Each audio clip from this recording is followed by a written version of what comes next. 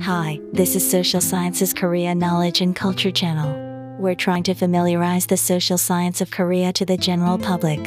The thesis being introduced today is Social Network Characteristics Predict Loneliness in Older Adults.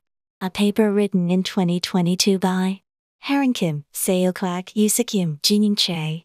From Seoul National University and Yonsei University. Introduction Social isolation is detrimental to late life health outcomes. Although objective social isolation is a major source of perceived loneliness, how different layers of social disconnection systematically constitute the subjective experience of loneliness remains unclear.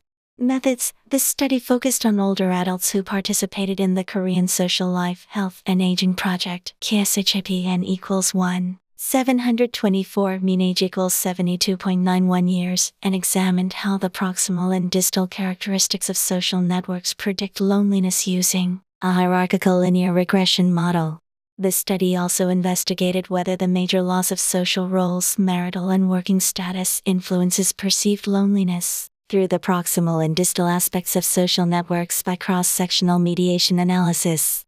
Results This study found that the proximal subjective number of connections and distal brokerage and embeddedness aspects of social networks additively explained the frequency of loneliness.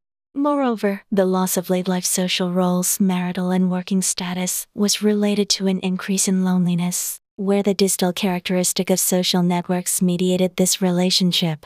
Discussion conclusion The results of this study suggest that the proximal and the distal characteristic of social networks is a social determinant predicting loneliness in late life.